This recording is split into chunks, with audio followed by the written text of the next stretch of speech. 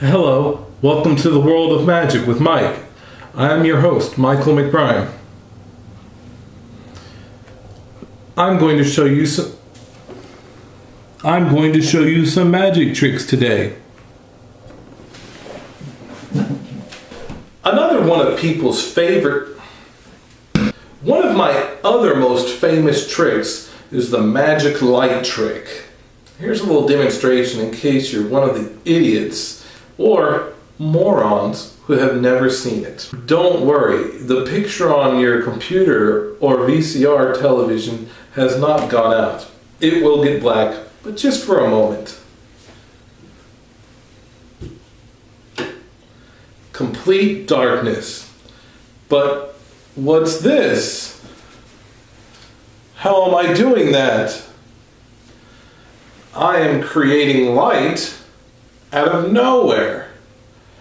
How in the world could this be? Give up? Well, I'll show you the secret. The answer of how I did the magic light trick may fool you. No, I'm wrong. It will fool you. And you may be thinking, Mike, that must have cost millions of dollars. In reality, it only cost a couple of thousand. I, in my special lab, had a magic flashlight created. Now, you may be thinking, Mike, I am not a dud I know what a flashlight looks like. That is not a flashlight. You are, oh, so infuriating, Mike. Well, that's where you're wrong.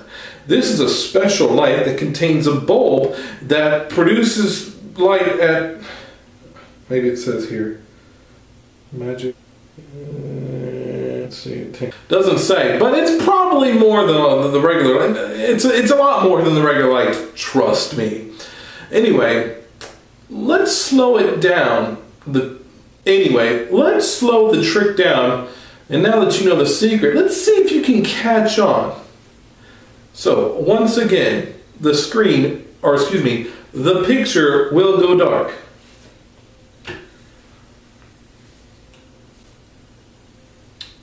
And there we have it. Where is that light coming from? Nobody knows except me and now you. That's one you can do with your friends. It's easy. Just pay a couple of thousand dollars for a really expensive magic light that I sell on my website. And uh, oh yeah, remember, practice, practice, practice.